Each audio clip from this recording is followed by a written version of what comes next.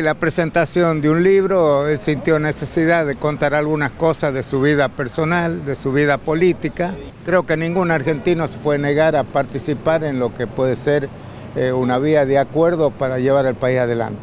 Lo que pueda sumar sirve porque si no, no tiene sentido eh, vivir en el país o hacer política. ¿Menem acudiría a un llamado a sentarse a una mesa de negociación? Seguramente sí, seguramente sí. Él llamó a muchas mesas, acuérdese cuando se hizo el acuerdo con el radicalismo. Yo estoy muy confiado que el gobierno del presidente Macri termine muy bien.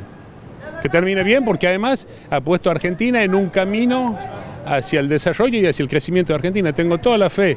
Obviamente hay vaivenes, hay cosas que pasan, pero creo que estamos eh, por el camino correcto, sin duda.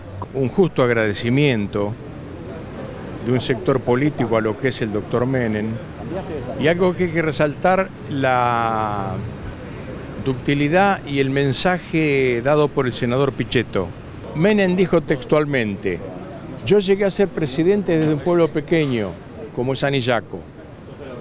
Miguel es de un pueblo chiquito de Río Grande. Él también puede llegar a ser presidente.